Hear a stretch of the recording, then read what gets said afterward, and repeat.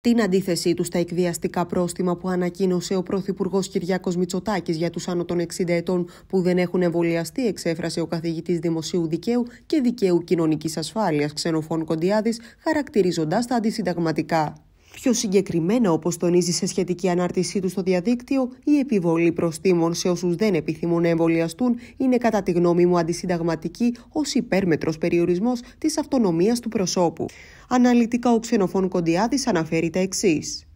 Υποστηρίζω επίμονα από την πρώτη στιγμή που διατέθηκαν τα εμβόλια ότι πρέπει να υπάρξουν περιορισμοί, κυρώσεις και κίνητρα για να εμβολιαστούν όλοι.